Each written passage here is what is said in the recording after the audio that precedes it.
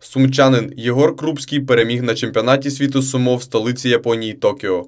Збірну команду України представляла делегація з 25 осіб. Українські спортсмени різних вагових та вікових категорій вибороли 16 медалей, а збірна команда дорослих перемогла у загальнокомандному заліку. Наш земляк, незважаючи на те, що йому всього 20, виступав серед дорослих в середній ваговій категорії. Провів шість боїв. Е, Найважче було фінал, бо відчував е, напругу, відчував, е, що мене бачать е, мої родичі. І, мабуть, це була найважка сутичка з японцем в фіналі. Єгор перший раз поїхав на змагання такого масштабу, скажімо так, дуже вдало дебютував. В фіналі здолав японця, там, де якби це вид спорту сумо е, родом з Японії. Там е, можна сказати, не можна сказати, а так і є, що в кожній школі е, займаються сумо. Дуже приділяється велика увага цьому виду спорту, тому що сумо в Японії це не тільки вид спорту, це і релігія, і традиції. Дуже велике фінансування виділяється на цей вид спорту. Тому, ну як би кажуть, вдвічі приємніше, що так сталося і що зміг здолати японця в фіналі.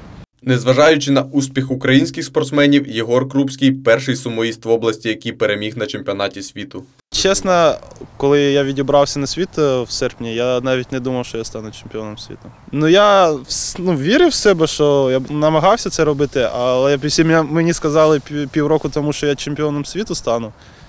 Я дуже не повірив. А ось його тренер бачив неабиякий потенціал в своєму підопічному і знав, перемога на чемпіонаті світу буде.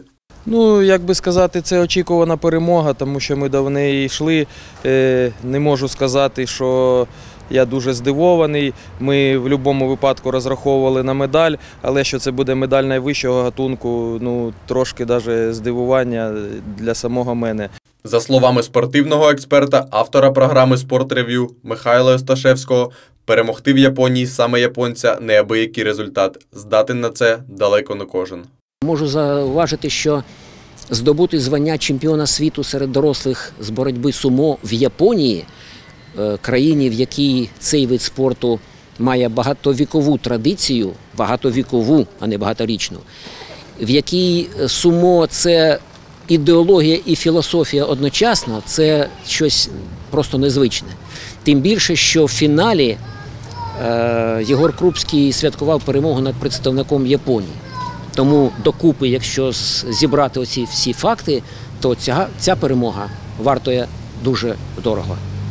З семи років Єгор почав активно займатися вільною боротьбою. Після п'яти років тренувань вирішив спробувати себе в сумо, на якому не одразу сподобалось. Сам спортсмен зізнається, подобаються обидва види спорту, але зупинився таки на сумо. Ну, це швидко, треба швидше думати, швидше бачити, як суперник що рухається, як і дивитись за ним перед сутичкою. Зараз у чемпіона світу заслужений відпочинок. А далі тренування, змагання і обов'язково гучні перемоги.